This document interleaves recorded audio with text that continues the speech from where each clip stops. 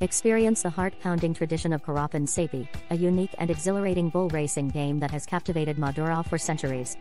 This cultural spectacle combines skill, tradition, and adrenaline, making it a must-see event for locals and tourists alike. Karapan Sapi traces its roots back to the 13th century when it first emerged as a form of entertainment for the Madurese people. Initially, it served as a way to select the best breeding bulls for agriculture, but it quickly evolved into a beloved sport. The races take place on a straight, dirt track spanning about 100 meters. The star athletes of the event are the majestic Madurese bulls, known for their strength, agility, and fierce determination. Each bull is meticulously trained and cared for by their devoted handlers. During the race, two bulls, each pulling a lightweight wooden cart known as a kukuk, compete against each other. Karapan Sapi is more than just a thrilling sport, it is a celebration of Madurese culture and tradition.